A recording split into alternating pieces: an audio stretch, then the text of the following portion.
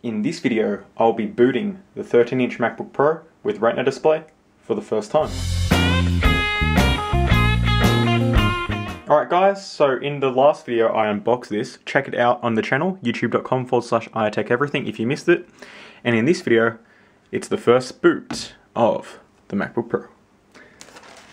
So I just press the power button and we'll go ahead and see what happens.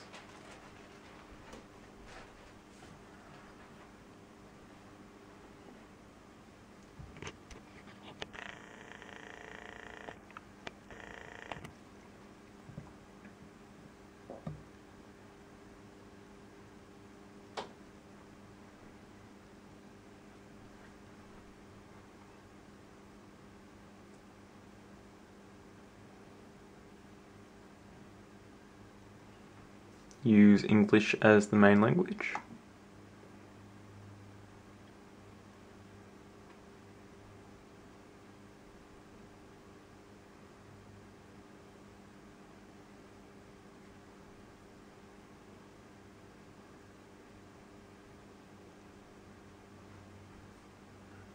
I'm in Australia and I'll have the Australian keyboard.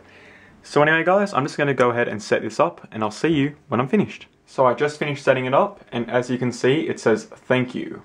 Your Mac is set up and ready to use. Start using your Mac.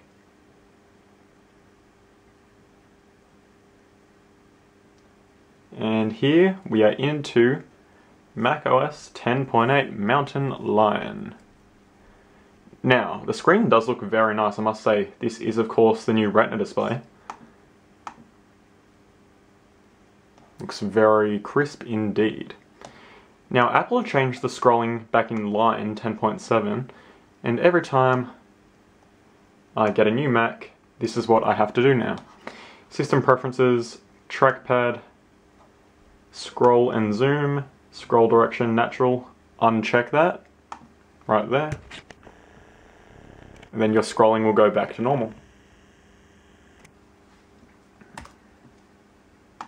Map Safari.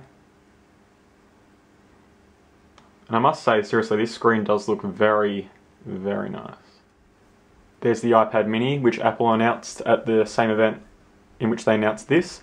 Stay tuned to iTech Everything, as I will get the iPad mini and the new iPad 4 in for review. So that's going to do it for the first boot of the 13.3 inch MacBook Pro with Retina display. This retails for $18.99 here in Australia.